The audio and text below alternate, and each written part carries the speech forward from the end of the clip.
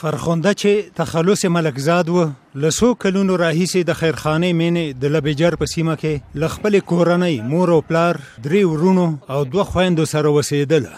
فرخندې خپل زده کړې تر دولسم ټولګي پورې د بیبي سارا په ښوونځي کې چې د دوی کور ته نږدې او پای ته رسولي او له هغې وروسته د اسلامي تعلیماتو د حاصلولو په مقصد د بي بي عائشه صدیقې په اسلامي دارالعلوم کې شامله او په 2014 میلادي کال کې ځنې فارغه شوه. د فرخندې د کورنۍ د غړو په خبره له خلکو سره د فرخندې چلند له اسلامي اصولو سره سم او مهربانه و.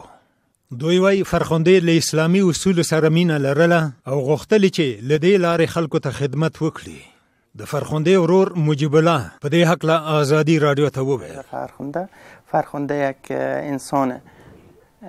متدین بزرگ اندیش و یک انسانی بوده که همیشه میخواسته هر اقدام که شه باید به وجه احسن شه و اینمی باعث شده که اشخاصی که دیدیم منافعشان در خطر است موجب موجبات ایره فراهم بکنند که موجب قتل از ایشه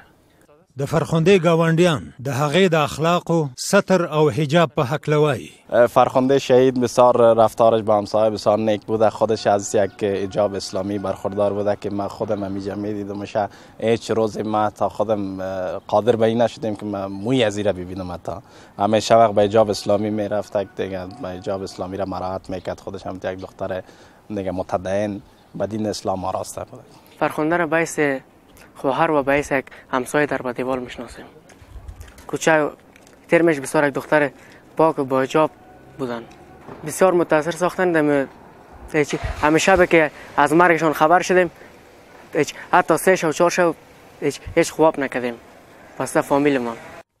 کورنۍ وایي فرخنده له درې کلونو راهیسې په دې هڅه کې وه چې په کوم ښوونځي کې ښوونکي شي.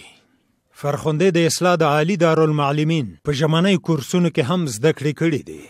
د دې دارالمعلمین رئیس احمدالله مرشد صافي د فرخنده د کړو وړو او چلند په هکله وویل. اینمی که شخص خود فرخنده یعنی فقط پشت ازی بوده که چه قسم قرآن را درستتر یاد بگیرن و چه قسم توانایی بیشتری داشته باشند که قرآن را به شکل درستی که باید مسلمان ها بخوانند خوانده بتانند و در رابطه به قرآن عظیم شان یعنی خدمات عرضه بکنند د کورنۍ چارو وزارت وایي فرخندې غوښتل چې خلکو ته رښتینی دین تبلیغ کړي او د هغو کسانو مخه ونیسي چې دین د خپلو شخصي ګټو لپاره د یوې وسیلې په توګه کاروي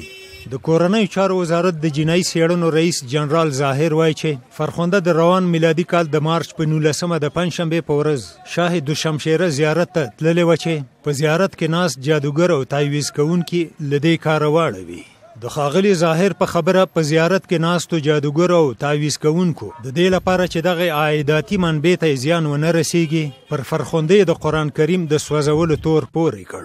د جادوګرو او تایویز کوونکو له دغو چغو سره په سیمه کې موجودو څو تنو لنډغرو پرته له دې چې پر حقیقت ځانونه پوه کړي د فرخوندې وهل ټکول پیل کړل د پیښې پر مهال اخیستل شوي تصویرونه ښیي چې پولیس د فرخوندې د ژغورلو هڅې کوي خو توانیږي نه کله چې فرخنده وژل کیږي او خبرې په رسنیو او په تیره فیسبوک ته پورته کیږي د ګوتو په شمار څو تنه پرې خوښیږي خو اکثره یې غندي او دا عمل غیر انساني او غیر اسلامي ګڼي له پیښې دوه ورځې وروسته د کورنیو چارو وزارت چارواکي اعلانوي چې څېړنو یې ښودلې چې په زیارت کې د قرآن کریم هیڅ نسخه نه ده سوځول شوې او فرخنده بې ګناه ده فرخنده د تیر یکشنبه په ورځ په داسې حال کې چې د جنازې په مراسمو کې په زورګونو خلکو ګډون کړی وو د خیرخانې مینې په هدیره کې خاورو ته وسپارل شو لدې پیښې وروسته درې ورځې مسلسل د مدني ټولنو غړو سیاستوالو او مختلفو سیاسي ګوندونو د مظاهرو په کولو سره دغه وژنه غندلې ده د فرخندې کورنۍ او په زرګونو کابل خاریان له حکومته غواړي چې د فرخندې قاتلین دی ونیسي او عدلی او قضایي ارګانونو ته دی وسپاري